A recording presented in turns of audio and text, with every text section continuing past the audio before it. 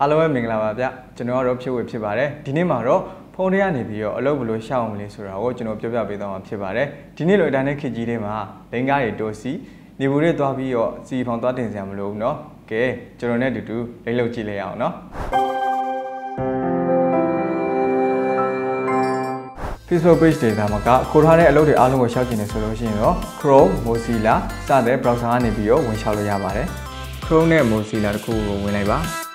ပြီးရင် www.mindjobs.com.mn လို့ရိုက်ထည့်လိုက်ပါကုမ္ပဏီအသီးသီးမှခိုးထားတဲ့အလုပ်တွေများစွာတွေ့ရပါလိမ့်မယ်ကိုရှောက်ကျင်တဲ့ position တစ်ခုကိုနှိပ်လိုက်ပါကိုနဲ့ကက်ညီတဲ့ position တစ်ခုကိုထပ်ပြီးတော့နှိပ်လိုက်ပါကုမ္ပဏီကလိုအပ်တဲ့အရေးချင်းတွေကိုတေချာရေးသားသားမှာဖြစ်ပါတယ်တေချာလေးတော့ကြည့်ရှုပေးပါဒီလောက်ကိုမှစိတ်ဝင်စားနေလို့ရှောက်ကျင်နေဆိုလို့ရှိရင် email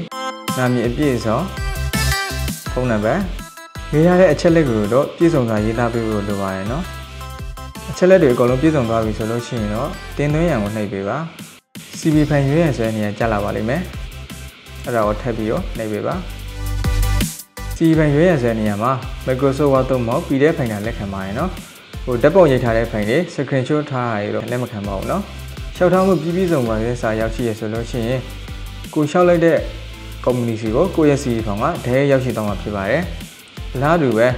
မိုင်ကျွန်းမှာရှိရဲ့တခြားအလုပ်တွေပဲဥမာရှောက်ချင်နေဆိုလို့ရှိရင်တော့မိုင်ကျွဲ logo လေးကိုနှိုက်လိုက်ပါ။မူလ page ကိုပြန်ရောက်သွားပါလိမ့်မယ်။ကိုယ့်ကို interview ခေါ်စေချင်ရင်တော့ CE ဖောင်ကိုတေချာရေးသားပေးဖို့တိုက်တွန်းပြရစေ။ကိုယ့်ရည်ရှင်တဲ့ကဲ့ညီဆိုလို့ရှိရင်နှစ်ပတ်အတွင်းကုမ္ပဏီက interview တိုက်ရိုက်ဆက်သွယ်မှာဖြစ်ပါတယ်။ဒီဗီဒီယိုလေးကအားလုံးအတွက်အသုံးဝင်လိမ့်မယ်လို့မျှော်လင့်မိပါတယ်။အဆုံးထိကြည့်ပြီးရတဲ့အတွက်လည်းကျေးဇူးအများကြီးတင်ပါတယ်။ mindjobs.com.mn မှာအလုပ်ကိန်းကောင်းတွေအများကြီးရကြပါစေလို့ဆုတောင်းပေးလိုက်ပါတယ်။